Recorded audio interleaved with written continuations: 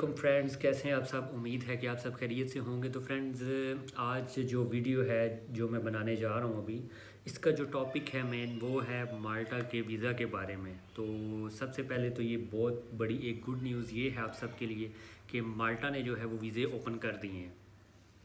जो कि आपको पता है कि पिछले तीन चार महीने से जो है, वो माल्टा ने जो है, वो वीज़ा क्लोज़ किए हुए थे, बल्कि पूरी दुनिया में ये जो वबा फैली हुई थी करोना इसकी वजह से तमाम फ़्लाइट्स, वीज़ाज़, हर चीज़ क्लोज़ थी। तो अब आहिस्ता आहिस्ता जो हालात हैं, वो ज़रा मामूल पे आना शुरू हो गए हैं। और माल्टा ने जो है, वो वर्क वीज़ा जो है, वो इशू करना शुरू कर दी है। तो फ्रेंड्स, आज की जो ये वीडियो है, ये मैं आप लोगों के साथ ये जो शेयर अभी करूँगा, इसमें आपको मैं बताऊँगा कि कौन कौन से वीज़ाज़ हैं। और सबसे मेन चीज़ एक आप लोगों के साथ जो मैं शेयर करूँगा, वो ये होगी कि कई लोग जो हैं, कहीं से भी हैं, जो भाई हैं, जो फ्रेंड्स हैं, हमेशा मुझसे वो ये पूछते हैं कि भाई आप अप्लाई करने का तरीक़ाकार बताएँ कि हम खुद से माल्टा में कैसे अप्लाई कर सकते हैं। तो फ्रेंड्स सबसे पहले तो मैं आपको ये माल्टा के वीज़ाज़ के बारे में बताऊँगा कि कौन कौन सी कैटेगरीज़ के जो वीज़ाज़ हैं, वो ओपन हो गए हैं।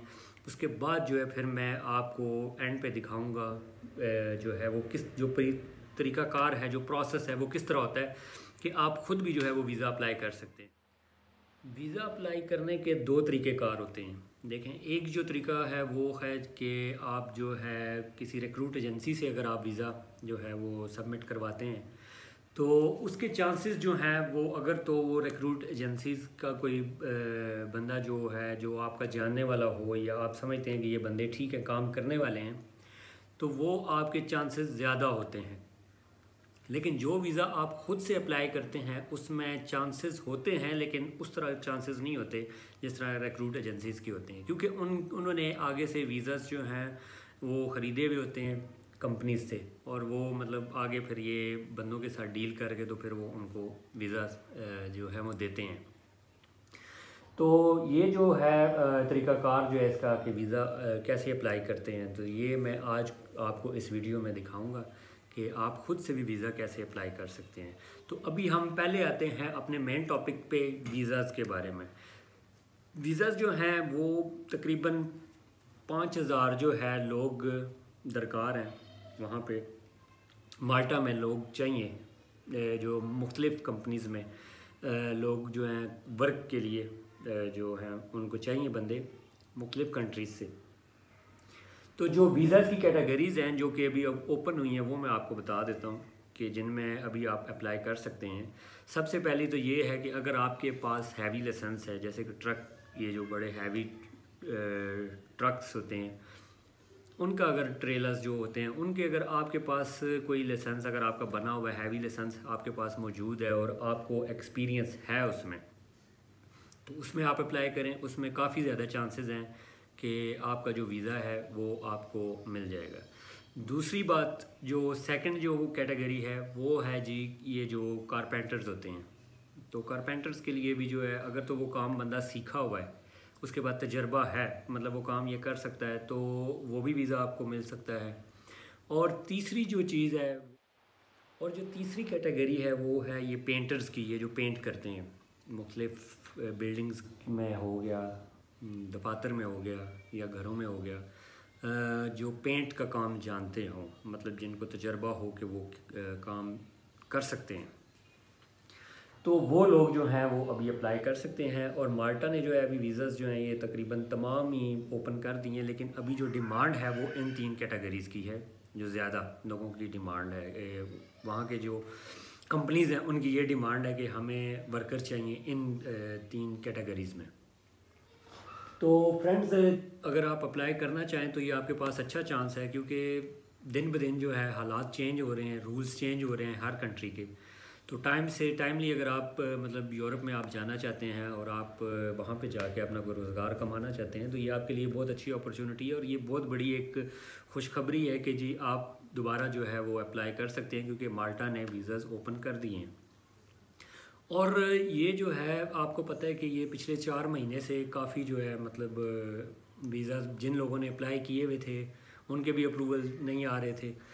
तो जिन जिन लोगों के तो अप्लाई हुआ हुआ था, चाहे वो रिक्रूट एजेंसी के थ्रू था, चाहे उन्होंने ख़ुद से किया हुआ था, जिस हिसाब में जिस बंदे ने अपना अपना वीज़ा अप्लाई किया हुआ था, तकरीबन उन तमाम लोगों के वीज़ाज़ जो हैं, वो निकल आए हैं।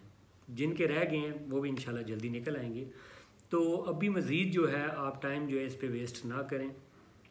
किसी और कंट्री का अगर आप सोचते हैं, यूरोप में आपको पता है कि एंटर होना जो है वो बहुत मुश्किल है, क्योंकि बाकी तमाम यूरोपियन कंट्रीज़ जो हैं वो वीज़ा उनका हासिल करना बहुत मुश्किल है।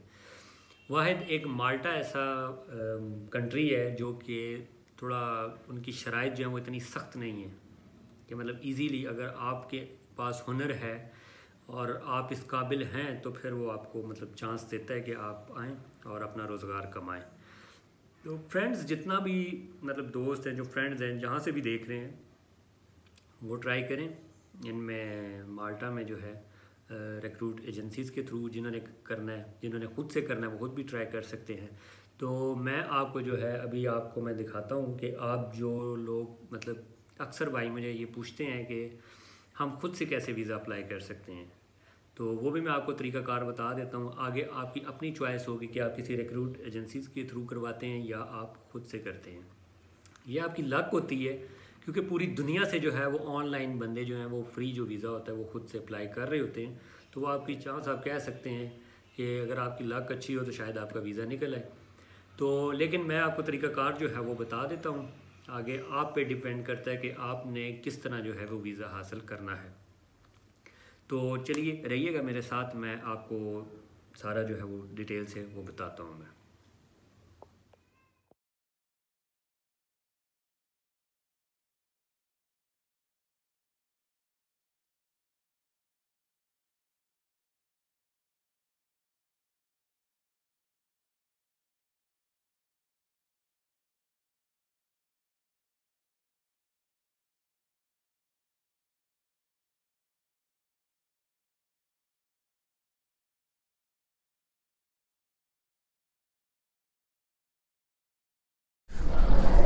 तो दोस्तों, ये है वो साइट और यहाँ पे आपको लिखा मिलेगा jobs in Malta dot com ये टाइप करना है आपको jobs in Malta dot com ठीक है, आपको क्या करना है सबसे पहले, आपको आना है यहाँ पे, और यहाँ पे आगे करना है रजिस्टर ठीक है अगर आपका लिंकडिन पे है तो आप उसके साथ ओपन कर सकते हैं। अपना जो गूगल अकाउंट है, यानी कि जीमेल उसके साथ आप कर सकते हैं। और यहाँ पे आपको क्या करना है?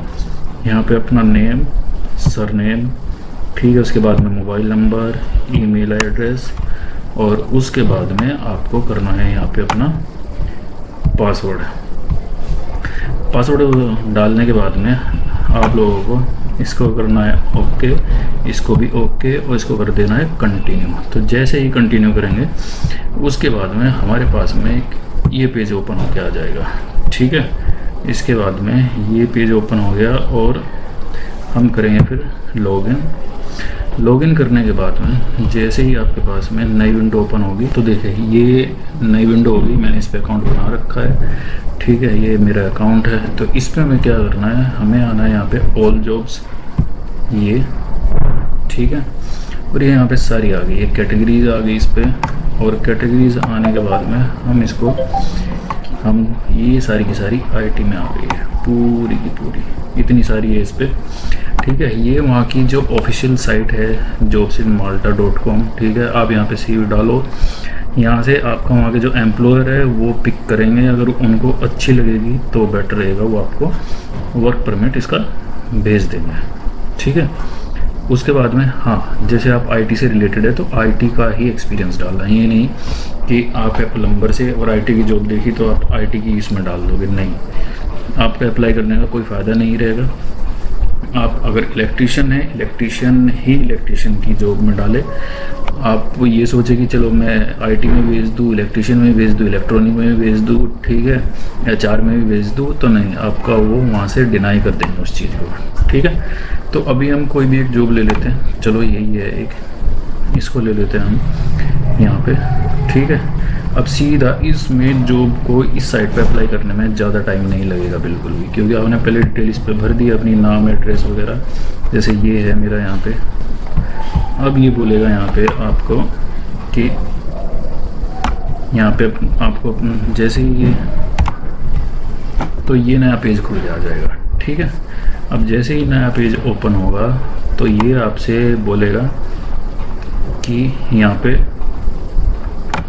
इस चीज़ पे अपना सीवी अपलोड करना है आपको, ठीक है? तो ये बोलेगा यहाँ पे आपको अपना सीवी अपलोड करना है। तो यहाँ पे आपको क्लिक करना है।